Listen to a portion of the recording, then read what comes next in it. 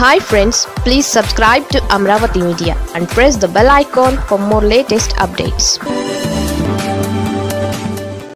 ఢిల్లీలో జగన్ ధర్నా ఇరవై నాలుగవ తేదీనే. ఎందుకంటే ఈ నెల ఇరవై నాలుగున ఢిల్లీలో ధర్నా చేయనున్నట్లు వైసీపీ అధినేత మాజీ ముఖ్యమంత్రి వైఎస్ జగన్ ప్రకటించిన సంగతి తెలిసిందే. గత కొద్ది రోజుల క్రితం పల్నాడు జిల్లాలోని వినుకొండలో నడి రోడ్డుపై వైసీపీ కార్యకర్తగా చెబుతున్న రషీద్ని జిలాని అనే వ్యక్తి కత్తితో అత్యంత కిరాతకంగా నరికి చంపాడు. దీంతో ఈ విషయం రాష్ట్ర వ్యాప్తంగా తీవ్ర సంచలనంగా మారింది. దీంతో రషీద్ కుటుంబాన్ని పరామర్శించడానికి జగన్ వెళ్ళారు. రషీద్ తల్లి కుటుంబ సభ్యులను ఓదార్చారు. ఈ సందర్భంగా మీడియాతో మాట్లాడిన జగన్ రాష్ట్ర ప్రభుత్వంపై సంచలన ఆరోపణలు చేయడంతో పాటు పలు కీలక ప్రకటనలు చేశారు. ఇందులో భాగంగా ఏపీలో రాష్ట్రపతి పాలన విధించాలని డిమాండ్ చేశారు. ఇదే సమయంలో వినుకొండలో నడి రోడ్డుపై జరిగిన దారుణాన్ని జాతీయ మీడియా దృష్టికి తీసుకువెళ్ళే క్రమంలో ఢిల్లీలో ధర్నాకు పిలుపునిచ్చారు.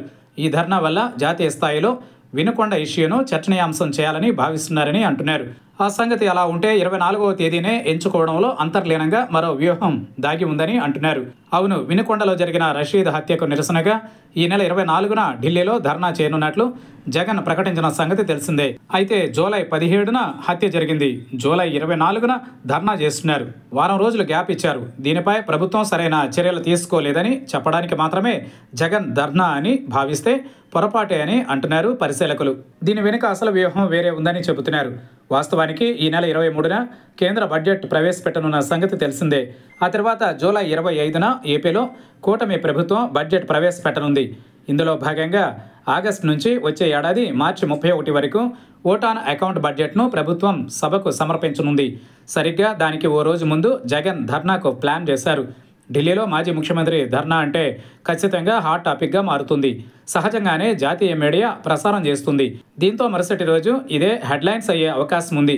ఫలితంగా ఏపీ స్టేట్ బడ్జెట్పై చర్చ పక్కదారి పట్టే అవకాశం ఉందని జగన్ భావించే జూలై ఇరవై నాలుగవ తేదీని ఢిల్లీలో ధర్నాకు ఎంపిక చేసుకున్నారని అంటున్నారు. ఢిల్లీలో ధర్నా చేయడం ద్వారా రాష్ట్రంలో వైసీపీని పుంజుకునేలా చేయాలన్నది జగన్ మరో వ్యూహంగా చెబుతున్నారు. పైగా ఎన్నికల ఫలితాలు వెలువడి నెలన్నర రోజులు కావస్తున్నా కడప పులివెందుల మినహా జగన్ మరోచోట జనంతో కలిసింది లేదు. దీంతో రాష్ట్ర వ్యాప్తంగా కార్యకర్తలు డల్ అయిపోయారని అంటున్నారు. ఈ సమయంలో ఈ ధర్నా ఖచ్చితంగా కార్యకర్తలలో ఎంతో కొంత హుషారు తీసుకొచ్చే అవకాశం ఉందని చెబుతున్నారు. మరి ఇటు ఏపీలోనూ అటు కేంద్రంలోనూ కూటమి ప్రభుత్వాలే ఉన్న నేపథ్యంలో హస్తినలో జగన్ ధర్నాకు వచ్చే స్పందన సంగతి కాసేపు పక్కన పెడితే వచ్చే రిజల్ట్ ఏంటనేది ఆసక్తిగా మారింది.